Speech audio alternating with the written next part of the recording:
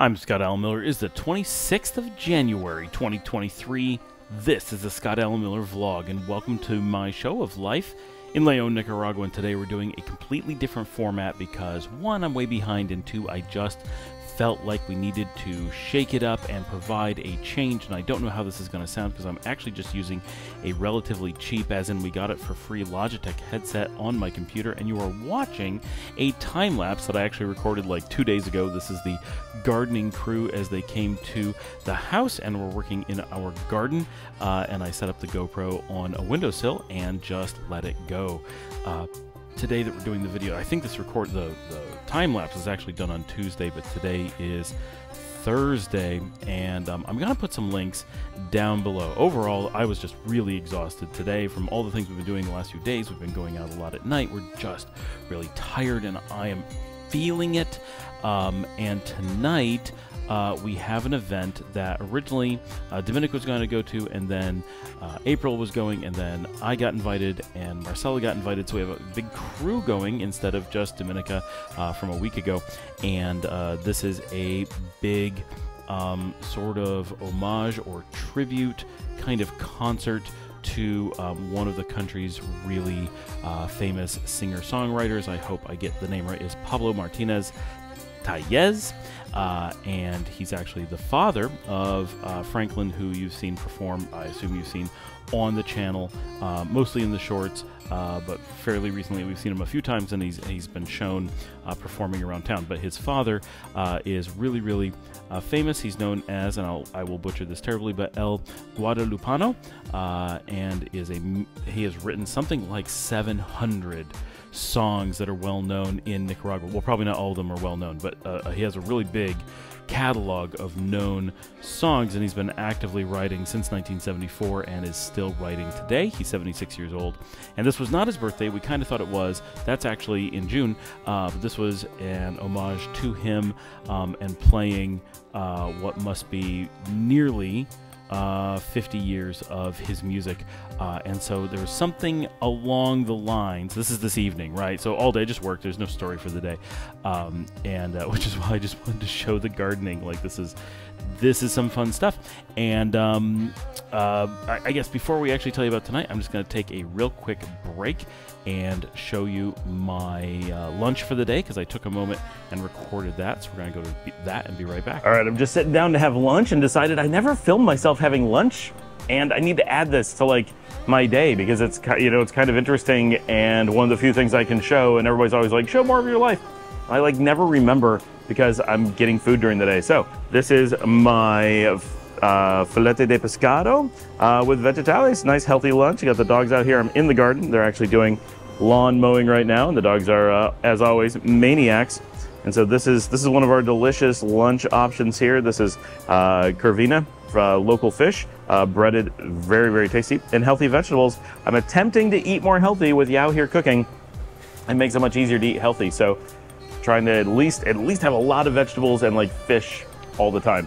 So we went out to this concert at about seven o'clock. We got there really at perfect time. April was feeling sick, so she didn't come and join us.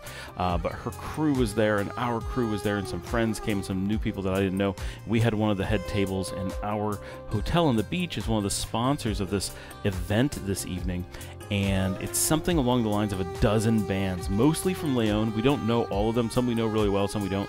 Um, and it was different mixes of bands. Some was like single people performing, but everyone was was well known. And just and, and for like four hours, they performed uh, uh, El Guadalupano's music um, in all these different uh, combinations. They had different singers and saxophone players and bassists, and um, it, it, was really, really cool. Uh, it was really neat that we got to go. I would estimate as many as like 200 people were there, and um, the music was fantastic, and the whole thing was it was a lot of fun and really um, neat to be able to be a part of uh, such an important part of the um, community here in Leon and in Nicaragua in general, and um, to see like a lot of pieces of history because uh, there's a lot of well-known people in in Nicaragua were there, and um, the whole thing was just really really interesting and and important and, and fun and, and just from as a musical thing was was absolutely fantastic. We had a great time.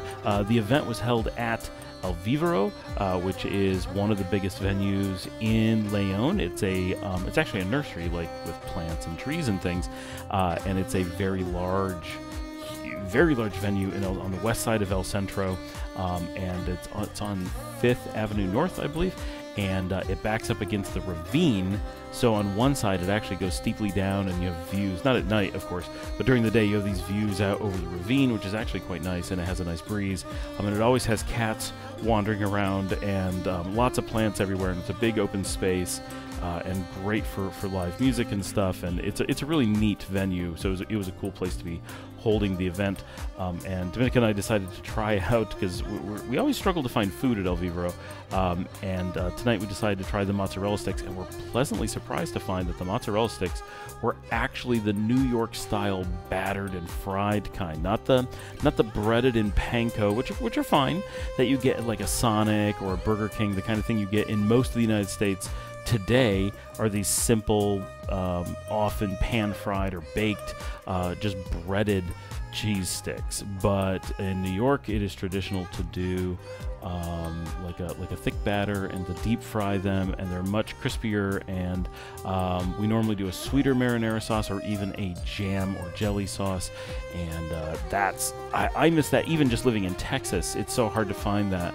Um, but being in Nicaragua, where cheese sticks are just not a thing, really, um, it was fantastic to find that. It was it was delicious. So now we have something that we like to get when we go there. So that was our night. It was a lot of fun. I didn't have anything to drink. I just had Coca Cola all night because I needed the caffeine and needed to avoid alcohol because I was I would have passed out had I had anything but caffeine. Thanks for joining me. Please remember to like and subscribe. Ask any questions. Get down in the comments.